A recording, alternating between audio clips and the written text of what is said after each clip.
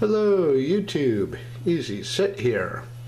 I'm sitting in front of my OS2 Warp 3 desktop. This is an installation of OS2 Warp on my Compaq Deskpro EP 6400.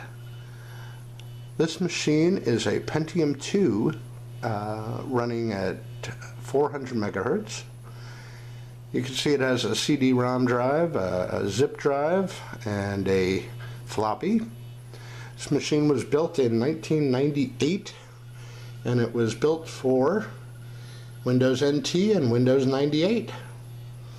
It has 256 megs of RAM. It has a 4 gigabyte SSD or uh, disk on module as it's called and I bought the Diskon module because I had played around with trying to get a CF card uh, working as a install drive, installable drive, but CF cards, the consumer grade ones, are locked as removable media. OS2 didn't want to install to that, so I resorted to a, a Diskon module which was uh, probably a better solution. It plugs right into the IDE controller. And I chose 4 gigabytes because OS2 Warp, when it was released in 94, um, had trouble working with drives larger than 4 gigabytes. Now, IBM released a patch for the installer that you applied to the uh, one of the boot disks, the hard drive, uh, the hard drive uh, driver uh, to recognize disks larger than 4 gigabytes and eventually larger than 8 gigabytes. But I chose 4 because uh, it was easy to do the install and the system really doesn't require that much space. Uh, on this SSD I have Warp 4 and Warp 3. I'm going to be looking at Warp 3 right now. So if you notice the desktop has, uh, not by default, I turned it on by clicking on the clock, but we have a clock in the corner. I can move that around. There is a dock, or what OS2 calls the launch pad. And the launch pad uh, looks like was either the inspiration for or inspired by CDE's uh, um, dock or launchpad uh, in Unix. The information icon and some of the other icons in the system are eerily similar to CDE icons. But you can lock up the computer. That's a strange term to, to use. It never really occurred to me how awkward a lockup button is. Uh, normally you don't want to lock up your system, but I assume that means you can password protect the screen. uh, you could shut down from here. You can look at a window list, and the window list is the currently running uh, programs. So the system clock, the launchpad, and the desktop. The desktop is just a folder. So it and it's open all the time, so it is always going to be in the window list. The title bar you can see has controls in the upper left corner and it also has controls in the right corner to minimize, maximize. So minimizing it, just, it's always running, the window list, so you can bring it up. Um, uh, and you have a find tool to look for objects.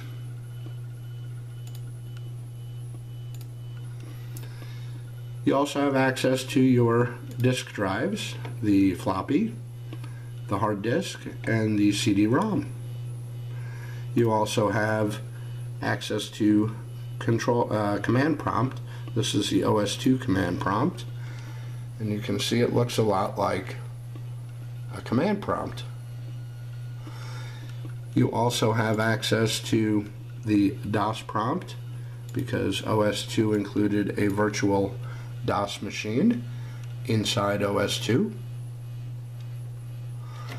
So let's exit these. And typing exit is the preferred way to get out of the command prompt.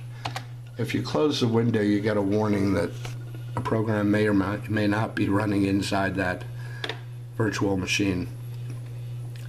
So, there's also, if you notice, a little Windows uh, button. Let's click on that. OS2 Warp uh, version 3 uh, Blue Spine came with a complete version of Windows 3.1 built in. So this allowed OS2 users to install and use almost all the current Windows um, software on the market, which was both good and bad for OS2. Uh, it was good for the consumer because there was tons of available Windows software that would run right out of the bat, right out of the gate. But it was bad because OS2 didn't inspire or require developers to develop OS2 specific titles. Uh, most software developers chose to just release uh, Windows software knowing that OS2 users, if they wanted to, could run Windows software. Uh, there was a lot of OS2 development, but not in the commercial sector, uh, or not in the consumer sector, I might add. So, uh, Windows 3.1 inside OS2 works a lot like Windows 3.1 would if you installed it over DOS. You have the file manager and all the other, uh, you have control panels.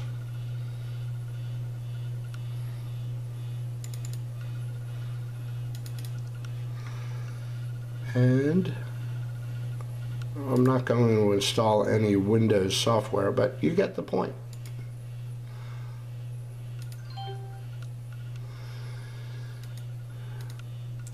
I created a, a button here for Star Office. Now, if those of you who don't know, Star Office was the precursor, the basis for OpenOffice, which was itself the basis for LibreOffice. Star Office was uh, originally written uh, by Star Division, then bought out by Sun, and it was an office suite that allowed for uh, the use and creation of text documents, spreadsheets, presentations, drawings. It had a built-in email client. It had a built-in HTML uh, editor. And there are links there to Sun Microsystems website and Star Office's product website. OpenOffice changed uh, a lot of the interface. Obviously, this is how it used to look. And before version 5, version 3 and 4, these were separate programs. They weren't integrated into this desktop metaphor. And it is a desktop metaphor. Um, you can see the style of the menus is very Windows 95-ish. It even has a start button built into its own program. And the start button does pick up some of the OS2 programs. It doesn't like the bookmark feature.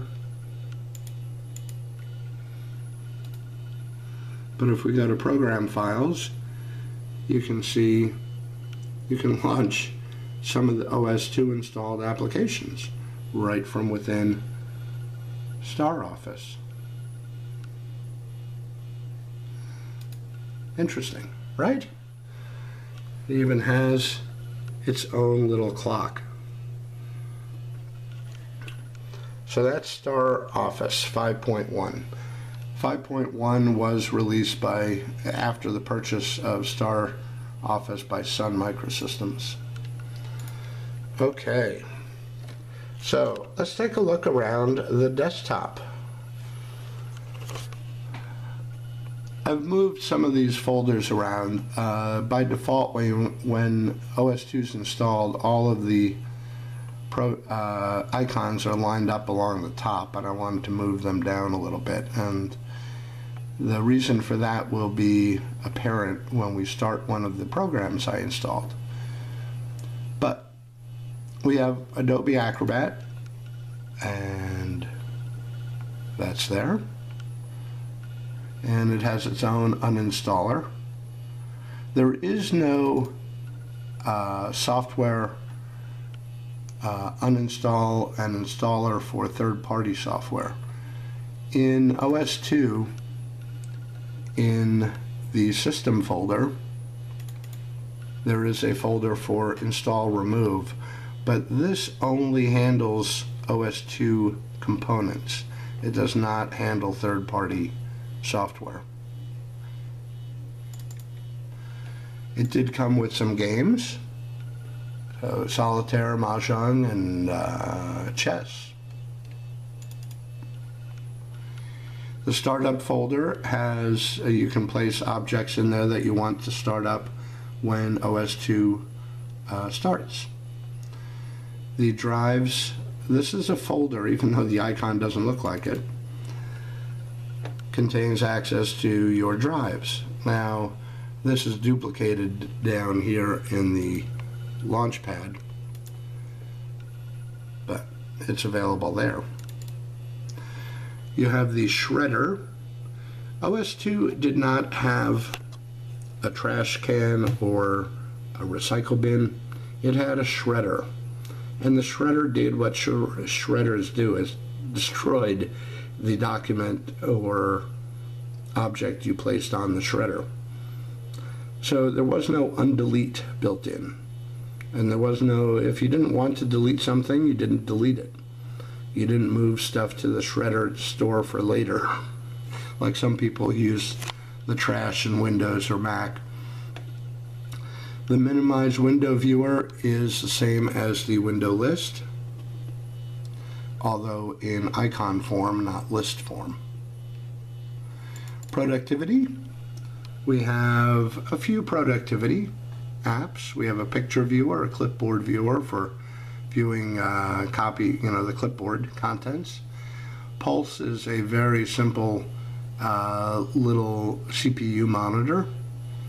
An icon editor, the seek and scan files tool, an enhanced editor, which is geared more for programmers, and the system editor, which is your basic text editor.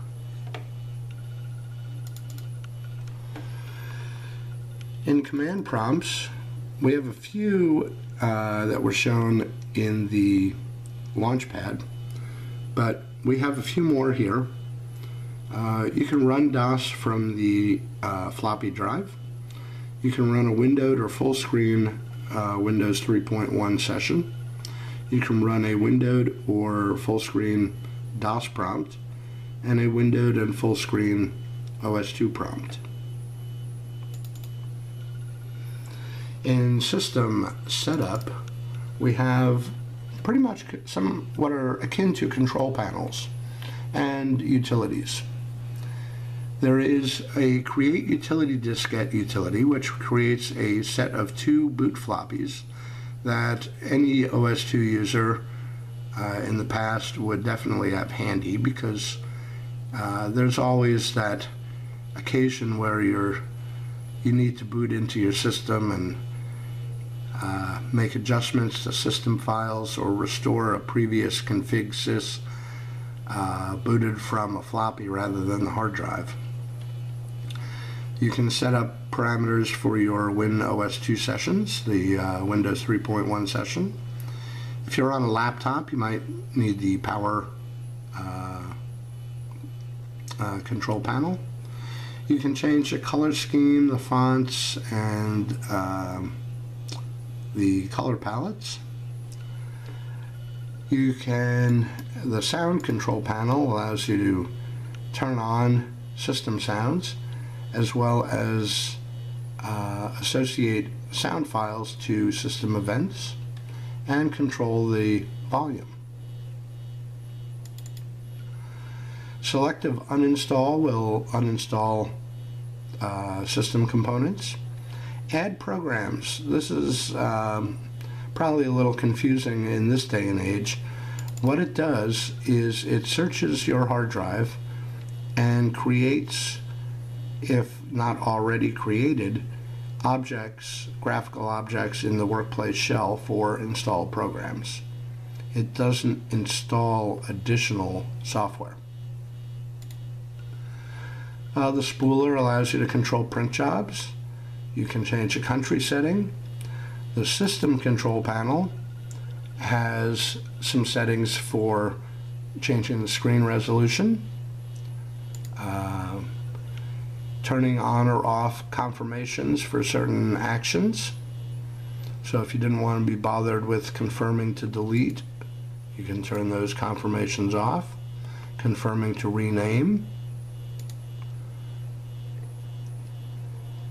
Uh, when you're moving or copying files, you can set the system to prompt you if you attempt to rename or copy a file in a location with an identical file name. You can auto rename the objects or replace. So the window settings allow you to decide what the button appearance is like for Windows either hide or minimize. Um, animation, you can enable or disable. Uh, minimize button behavior, minimize to the desktop. Okay. Uh, display existing window, create new window. Okay. And then you can go into further pages on the window controls.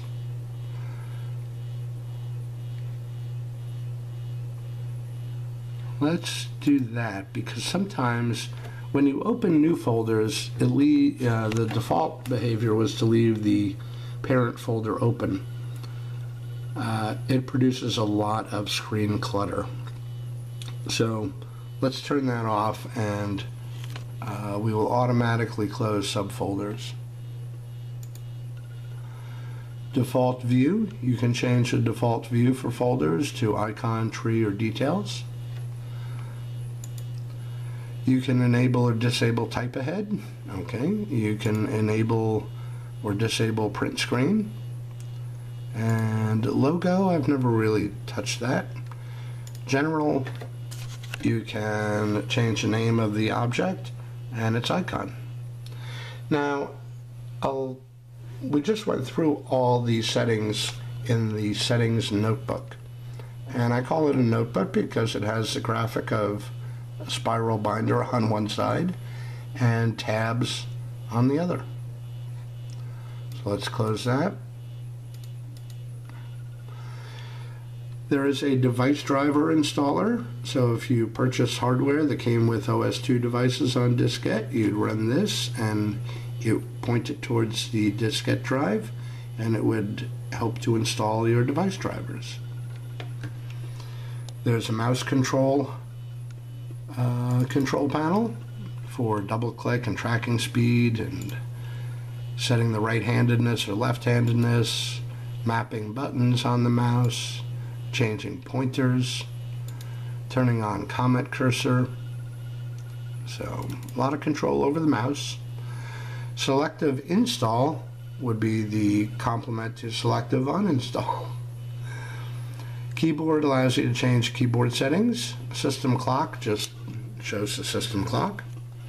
MGA settings is a control panel that came with the Matrox Millennium driver so you can control more fully the aspects of your video card.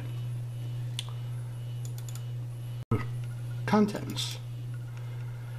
So there's also information.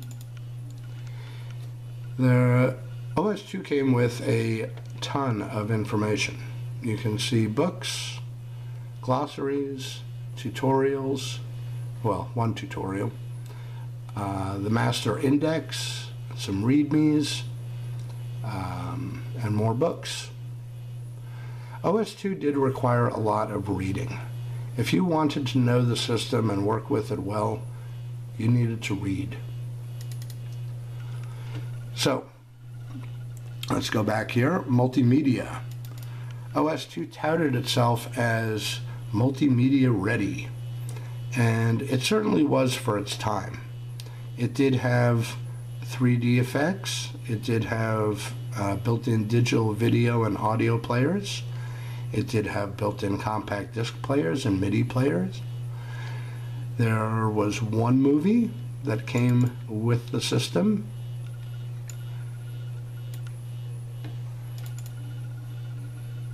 And let's go ahead and play that. Didn't catch that, that was quick. There you go.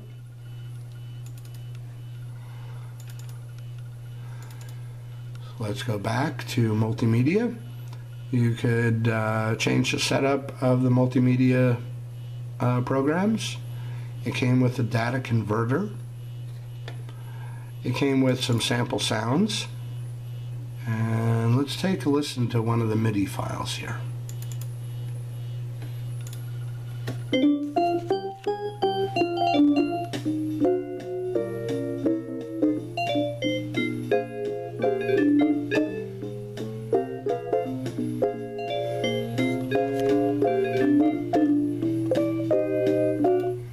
Very nice little jazzy there. And it came with a whole bunch of wave files. Let's go back and finish off. We have another way to get to the sound control panel. Uh, a, a, documentation on using multimedia with REXX. REXX is the uh, interpreted programming language that came with OS2 and I believe REXX was uh, purchased, the rights to redistribute REXX with OS2 was purchased by IBM from Amiga, where REXX was uh, uh, first introduced. So, and uh, just so you know, the workplace shell, which is the graphical environment of OS2 2.0 and forward, was really inspired in some ways by Amiga. Um, so it was very unlike anything else at the time. Uh, it was very unlike Windows 3.1, which was current when OS2 Warp came out. It was very unlike Windows NT, which was really had the Windows 3.1 interface it was unlike Linux. Uh, while it was Linux was out in '94, of course, but it was very unlike uh, X Windows. It was very unlike the Mac, but it had some similarities to all those systems, but did it in a, its own way. It was somewhat similar to Amiga OS, uh, Workbench and maybe the workplace shell name is sort of a hint towards uh, the workbench of Amiga because I think most of the inspiration for the workplace shell came from the Amiga. So let's close this window and I want to show you uh, a couple more things. One is templates. Now templates are objects that you can use to drag and drop to create a new instance of that object. So, and the way to drag in OS2 Warp is with the right button. So I'm clicking and holding on the folder icon and we'll drag it over to the desktop and now you can see we created a folder. Let's make this a little longer. There we go. there is a printer uh, template, and if you wanted to install a printer, you would drag the printer template onto, say, the desktop, and it would start the process of installing a printer. So you give it a name. If I had a printer driver installed, it should appear here. If I had the printer just plugged in and had the driver file or diskette ready, I could install it right here and choose the output port or output to a file. Pretty cool. So that's how you'd set up a printer. So let's cancel because we're not setting up a printer. Cancel and OK. There we go. So that is the object, uh, that is the point of templates. So let's close this. And I want to show you a little program that's shareware. Uh, it's called FileBar, and it's an interesting little program for OS2. So let's double click on that. And you can see that shareware is, uh, FileBar is shareware and it's asking you to please register if you continue to use it. So, let's take a look at what FileBar did or does.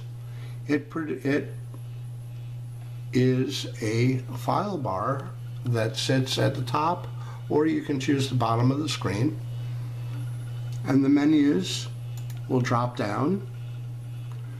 You can open, save, save as, refresh, lockup system, edit the menus in file bar, change the options, and if we go to general, we can position the file bar at the top or the bottom. Um, how to launch Windows sessions.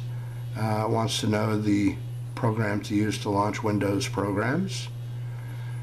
Uh, we can set it so that when the system starts, if we put the file bar icon uh, object in the startup folder, um, we can have the system lock up on startup. Uh, let's see, we can resize uh, WPS desktop on boot and enable or disable other features. So let's go back to the file bar menu. Work areas.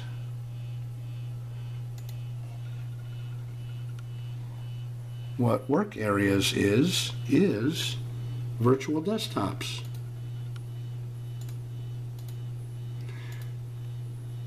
You can see virtual desktop 1 has the clock running and all the other virtual desktops do not but it gives you virtual workspaces in OS2.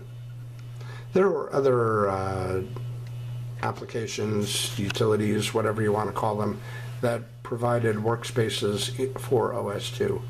But this one not only implements it rather well, I think, gives you a lot of default workspaces, um, but it also gives you this beautiful little file bar. If you go to About, it tells you who wrote it and the copyright, and that it's a shareware demo version. It wants you to register, of course, and if you register later, it tells you the details of how much it costs and where to send your payment to and that you will be then uh, given a registration code to unlock the full features. Pretty cool. So the task list gives us uh, the running tasks and a shutdown command. The command prompts give a uh, menu gives us access, quick access to all the command prompts. And the OS2 menu gives us access to some of the default OS2 installed uh, features.